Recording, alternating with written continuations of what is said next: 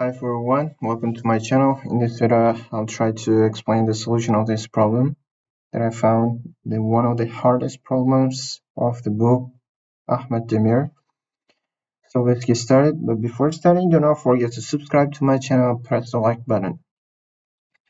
Okay, we're seeing that EC is a bisector. Here alpha and alpha we can say and this angle will be pi over 2 minus alpha. This angle will be also pi over 2 minus alpha. And uh, the angle ADC will be also pi over 2 minus alpha which means that the ADE is an isosceles triangle. And here we can see that AE and AD will be equal. So it will be 6 and the next step is to know that this angle will be 2 alpha. It is not so hard. We, we are subtracting from pi these two angles and we are get, getting 2 alpha. And here by using uh, cosine's law we can find out the angle, the cosine 2 alpha here that we need so 16, uh, 16 will be equal to 36 plus 36. If you don't know, you can search in a Google the law of cosines. You will find out the formula and I'm using this formula. Here minus 2 times 6 times 6 cosine 2 alpha will be and from here we can find a cosine to alpha. 2 times 6 times 6 will be 72 cosine 2 alpha will be equal to if we will subtract from the both sides um, 16 here we can get this is 72 72 minus 16 it will be 56 and here cosine 2 alpha will be equal to if we will divide by 72 we get 56 over 72. I'm doing it shortly. It's not so hard about so. And here, if we will divide it by 8, we'll get 7 over 9. And it means that it, it is equal to 7y over 9y. It is a constant number, y. We can put in a letter, so I wrote it. Why is it so? I'll explain later here. In a triangle ABC we can see that this angle is 2 alpha and here we can see the cosine 2 alpha cosine of this angle. And we know that cosine of this angle 2 alpha is equal to here uh, from the Pythagorean concept uh, from the concept of a right angle triangle. We can say that this will be BC over AC and here we know that this is also equal to 7y over 9y. So we can write down uh, this BC side as 7y and the AC side as 9y. And uh, next step is to know the concept of bisector.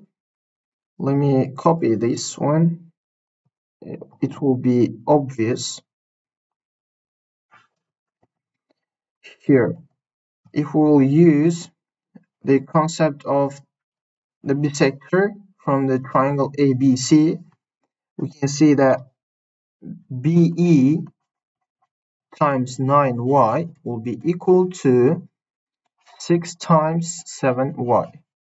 Here we can divide both sides by 9y and we can get BE that BE will be equal to 6 times 7y or 9y. We can cancel y and y and we can divide by 3. We'll get 2. We can cancel the numerator and denominator by 3. It will be 2 times 7 over 3. It will be 14 over 3. We found BE and here from the Pythagorean theorem, we can find out y. From the triangle ABC, we can see that uh, b ab let me find out ab here. 6 plus 14 over 3 it will be 32 over 3 ab found it and we will square it. 32 over 3 squared plus 7y squared is, is 49y squared will be equal to 9y squared is 81y squared. We can subtract from both sides this 49y squared and we'll get here 32y squared in the right side in the left side we'll write down uh, the this expression. And we can take a square root of these two expressions and we'll get here square root of 32 y will be equal to 32 over 3 as it is a geometric problem i'm not writing plus minus because the sides are always positive. So i believe you understood we can divide both sides by square root of 32 and we'll get here 32 over 3 square root of 3 times square root of 32 and we know that 32 is a square root of 32 squared and we can cancel one of them here. And we will get here square root of 32 we can write down it like 4 times square root of 2 over 3 it is 2 we found y and in order to find out x uh, we we have to find out the AC side. AC let me write out here. AC is 9 times y and we can plug the value that we found 9 times 4 square root of 2 over 3 and we can get here 12 square root of 2 and from the triangle DA we can find out the x. I'll write down the shortly the uh, theorem of Pythagoras so it will be 6 squared let me write down here. 6 squared plus here 9 y squared is a squared. It will be 288 here let me write 36 plus 288 will be equal to here 4 plus x squared. X plus 4 squared it doesn't matter. Squared.